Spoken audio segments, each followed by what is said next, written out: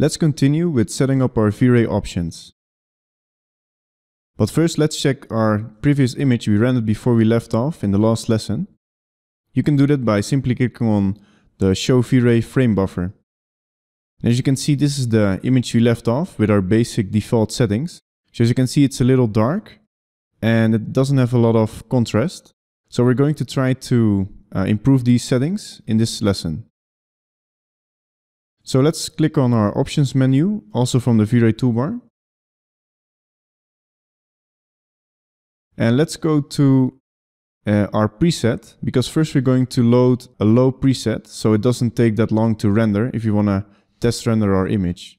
So simply go to choose category and choose exterior. And from the exterior presets, simply choose the low quality exterior. And if you're done, click the OK button.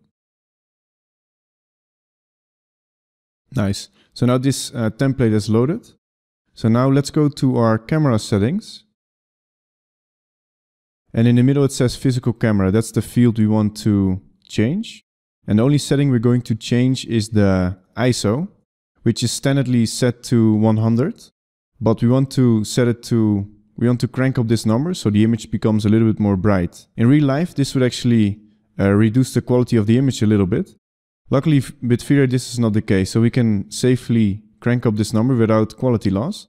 So let's set this number to 300.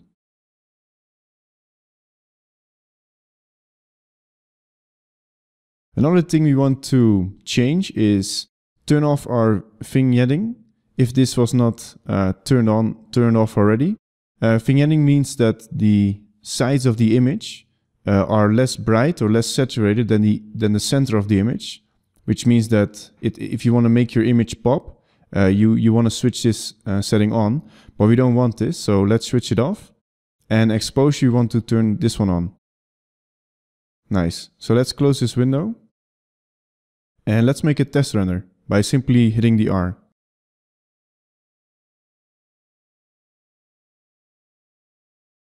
Nice, so the image already, as you can see, became way more bright, so that's, that's nice. But the only thing that's missing is the contrast. So there's another option we, we can use to improve the contrast of the image a little bit. So let's close our uh, frame buffer window. And let's go back to options. There's an option called ambient occlusion, which allows you to highlight the edges of geometry and add more contrast. So that's what we're going to do.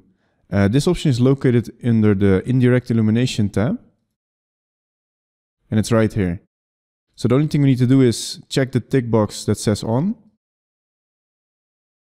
And let's increase the radius a little bit to 50. The amount means how much uh, ambient occlusion you, you want. The sub D stands for the quality and the radius is how far it, it reaches. So with these settings, it should, it should work. So let's do a test render.